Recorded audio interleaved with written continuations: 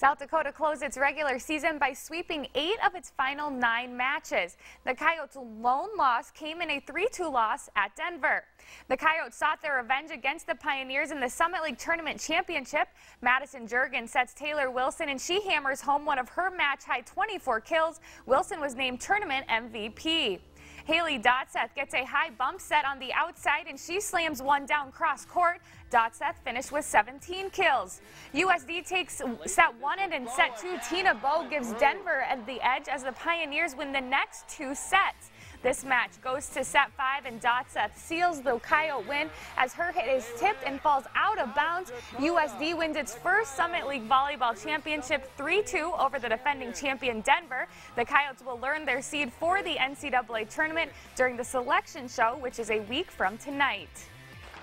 This season marks South Dakota State's seventh consecutive appearance in the FCS playoffs. The Jackrabbits are the fifth seed in this year's 2014 playoff field. After finishing the regular season 8 and 2, SDSU earned a top 8 seed for the third year in a row. The Jacks will host a second round game on December 1st, but will focus on their own development during their first round bye week. We'll have an improvement week, uh, as we like to call it. Uh, just get better at fundamentals and everything, uh, and then you know just just be ready for whoever we play in our first round game. We're excited to have a week off, have a bye. Uh, you know, you always hope for whatever, but uh, to be a top eight seed for three years in a row, I think that's tremendous, and we should rejoice.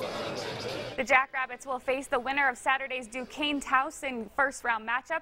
Kickoff is tentatively scheduled for 2 o'clock on December 1st at Dana J. Dykhouse Stadium.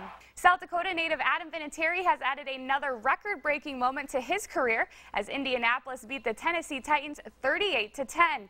The Colts kicker participated in his 210th regular season win, which is now most in league history. Hosted the College of St. Mary on the hardwood.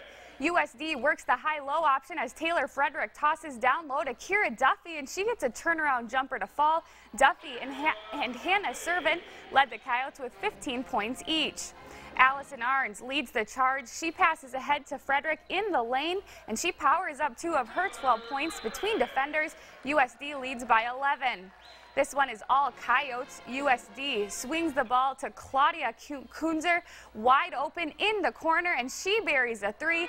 Kunzer had a career high 13 points as the Coyotes cruise to the win 112 to 52. That's a look at sports. We'll be right back.